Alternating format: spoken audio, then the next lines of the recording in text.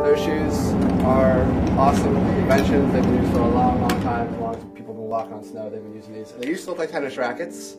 They've evolved, a little more high tech these days, and they're very easy to use.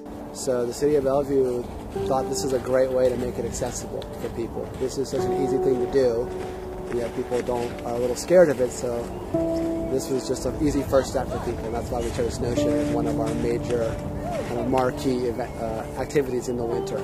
It was just a, a wonderful situation because I had 20 year old winter boots and they had brand new snow boots that um, had never been opened before that were available if we didn't have some, which was great. And then they had all what looked like brand new gear. And then the, the instructor walked through how to put it on and, you know, the the very little instructions that we needed to do snowshoeing.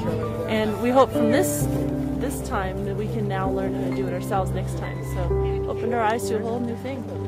We make it as easy as possible. You show up and we take care of the rest, all the gear, all the transportation, and having two guides that have been up here before that know the area, that know the safety requirements that are involved with being out in the woods and in the snow.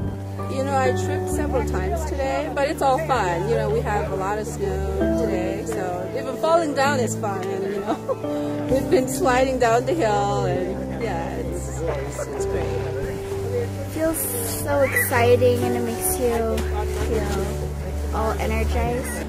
I, I think the part about snowshoeing is that you can go anywhere, and you can meander between small little paths and trees and explore. Um, and you don't have to have a group trail, Wild West. and then when you get to the top of like a mountain, you feel proud of yourself.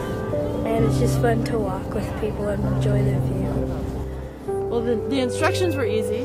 Put the snowshoes on and walk. So we, we didn't have a lot of ramp up time. We just tried it and you get the feel for it. You get these nice little grippers that help you go up. So I, I thought it was a lot easier than I expected. And I did expect tennis rackets. My son went with me on um, just to try out snowshoes once about a month ago and loved it. So when I saw that Bellevue Parks and Recreation was having this class, I thought this is perfect. This was a good first try for us. I don't think we would have done it if it weren't made available to us. I don't think we would have gone out and bought snowshoes, so it was nice to have someone show us, and um, we'll be back.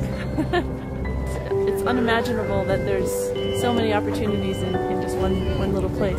There's lots of snow and I like snow.